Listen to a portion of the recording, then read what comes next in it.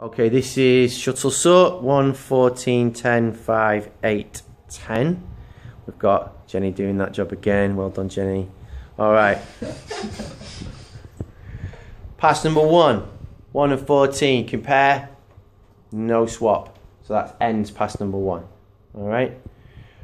Pass number 2, 14 and 10. Compare, swap.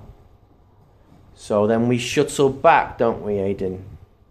And we compare, but we do not swap. All right, then it's these two.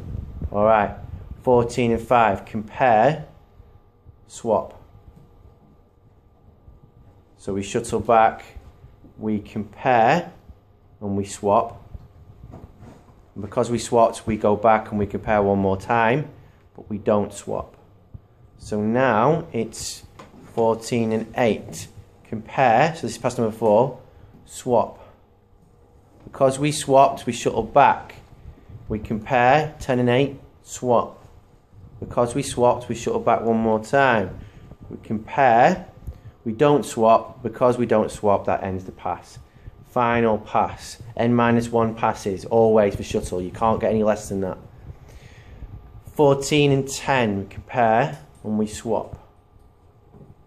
Because we swapped, we shuttle back, we compare, we don't swap. The moment you don't swap, that ends the pass and that and we've done n minus 1 passes, that ends the algorithm. That's the order, 1, 5, 8, 10, 10.